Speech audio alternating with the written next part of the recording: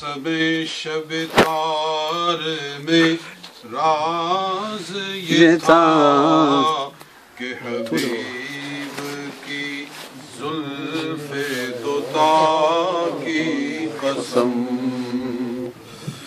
وہ ہے مرتبہ تجھ کو خدا نے دیا۔ نہ کسی کو ملے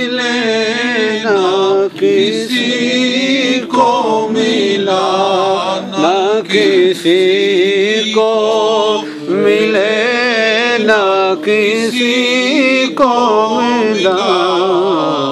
کہ کلام مجید نے کھائی شہا تیرے شہر و کلام و بقا کی قسم۔ یعنی اللہ تعالیٰ نے ایسا عظیم مرتبہ آپ نو عطا فرمایا ہے کہ اللہ آپ دے شہر دی قسم اٹھاندا ہے آپ دی گفتگو دی قسم اٹھاندا ہے آپ دی زندگی دی قسم اٹھاندا ہے۔ شہر دی قسم لا اقسم بهذا البلد وانت حل بهذا البلد اور کلام دی قسم وقیل ہی یا ربی۔ یعنی میرے حبیب دا ایک کہنا کہ ان ہاؤلاء قوم لا یؤمنون اے محبوب تیرے اس کہنے دی میں قسم اٹھانا وا۔ اور بقا یعنی اے حبیب تیری زندگی دی قسم۔ لعمرک انہم لفی سقرتہم یعمہون اے محبوب اے اپنی گمراہی دے اندر پھٹک رہے نے منو تیری زندگی دی قسم ہے۔ سبحان اللہ. تو فرمایا کہ ہے کلام مجید نے کھائی شاہ تیرے شہر و کلام بقا کی قسم۔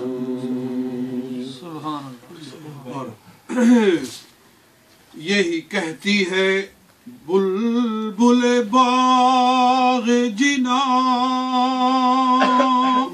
یہ آخری شعر ہے، اس تو پہلے آنے میرے گرچے گناہ ہے حد سے سوا، مگر ان سے امید ہے تجھ سے رجا۔ اے اللہ، تیرے کو امید ہے۔ اور سرکار دے ان سے امید ہے۔ حضور سرکار دے کولو شفاعت دی امید ہے۔ اللہ تیرے کولو بخشش دی رجا ہے۔ یعنی اس زمانہ بھی امید ہی ہے۔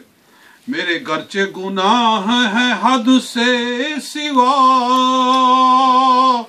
مگر ان سے امید ہے تجھ سے رجا۔ تو رحیم ہے، ان کا کرم ہے گواہ۔ وہ کریم ہے تیری عطا کی سبحان اللہ ایسا کلام سوائے اللہ حضرت کو کوئی نہیں بنا سکتا۔ یعنی اے اللہ تو رحیم ہے سرکار دے کرم دی قسم۔